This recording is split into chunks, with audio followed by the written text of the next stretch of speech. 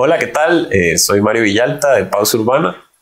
Hola, eh, mi nombre es Elio González, también de, la Fundación Pausa Urbana. Este, mm, bueno, interesante cuando nos preguntan cómo nace el colectivo hace, hace casi 10 años. Eh, nosotros nacemos desde el juego, desde lo lúdico y con un interés en la ciudad. Nosotros somos, somos arquitectos y de una otra forma siempre todo este tema del urbanismo, de cómo vivimos la ciudad, de cómo la gente utiliza los espacios públicos, siempre ha sido una, pues una iniciativa, una, algo que nos ha movido, ¿verdad? Ha sido ese móvil. Y el juego, de una otra forma, se ha convertido en una herramienta muy fuerte para nosotros.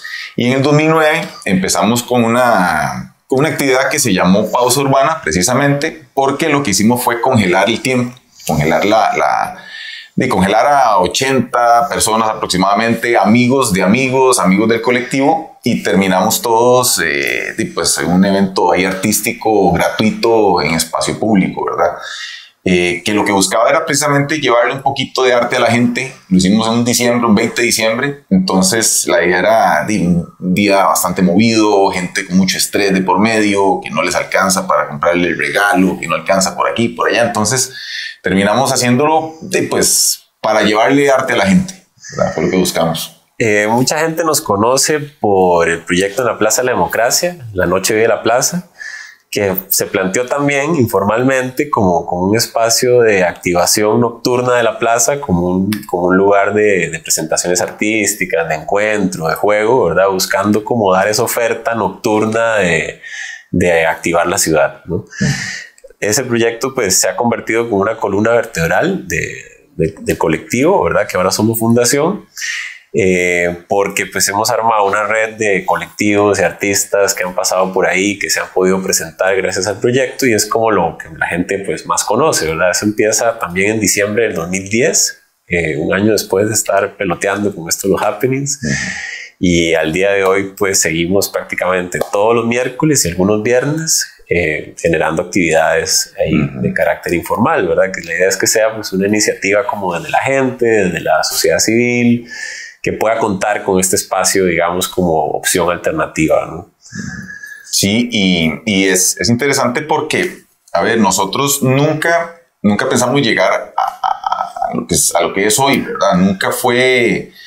No, no, no, teníamos ese, ese, ese objetivo de alguna manera, o sea, pero las, pues las, este, este evento, en la, esta, esta activación, este, este proceso en la Plaza de la Democracia, nos conectó con muchas personas muy interesantes de muchos, de muchos, de, diferentes esferas, gente de la calle, gente de instituciones, gente de, diferentes, de diferentes ámbitos que nos, nos, nos empezó a ver como, como, como, como, como conocedores del espacio público, de alguna manera, porque nos tiramos a la calle, porque hicimos en espacio público, porque experimentamos. Entonces, ese es uno de los ejes fuertes, esta activación de espacio público urbano, eh, como dice Mario, nocturno, ¿verdad? Para asegurarlo de alguna manera. Y tenemos otro eje fuerte también de trabajo, que es el tema del el trabajo en comunidades, trabajo en comunidades, eh, principalmente comunidades eh, vulnerables, comunidades este, marginalizadas. marginadas, sí y, y, ese ha sido otro, otro eje de trabajo, ¿verdad? En donde hemos estado en varias comunidades en, en, con, con, proyectos como el, el, Taller de Activación Urbana, que ese es otro proyecto de la, de la Fundación, el TAU. Eh, y proyectos también donde empresas privadas que trabajan y, y tienen su responsabilidad social empresarial en cerca de, de, de, de, estos, de estos barrios nos llaman para también hacer procesos colaborativos con la gente, ¿verdad? que lo que busca es empoderar a, a, a, los, a los, vecinos y vecinas eh, y de una u otra forma construir lazos sociales, ¿verdad? Entre, entre las personas, porque al final, lastimosamente, estamos en, una, en un momento, en una cultura que lo que busca es lo palpable, ¿verdad? O sea, que si invierto, necesito poder llegar a, a tocar a objeto, correcto. Entonces, nosotros vamos un poco en contra de eso, aunque los objetos también se convierten en ese medio, ¿verdad? En ese móvil para, para, para construir colectivamente. Es decir, hemos visto en el espacio público, pues esa oportunidad eh, de espacio que une a la gente, ¿no? Donde puedes trabajar ciertos temas y conflictos sociales, eh, necesidades, eh, construir comunidad, inclusive, ¿verdad?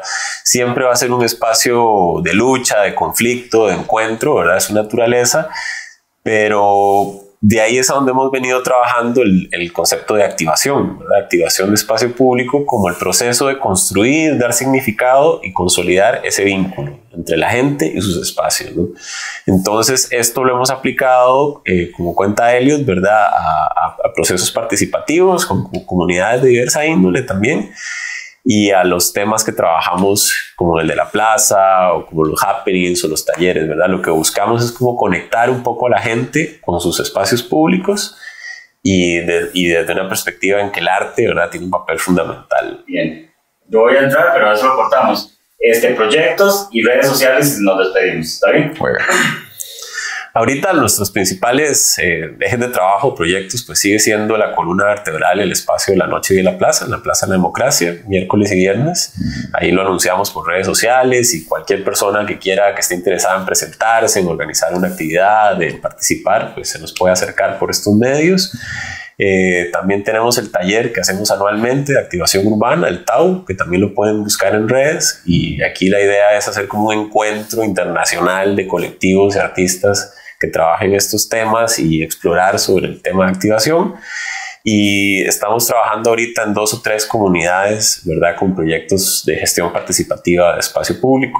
También, pues, si les interesa estos temas o quieren desarrollarse por ahí o saber un poquito más de lo que hacemos, este, nos pueden buscar Pausa Urbana, ¿verdad? Facebook, Instagram, o La Noche de la Plaza, o el TAU, el Taller de Activación Urbana.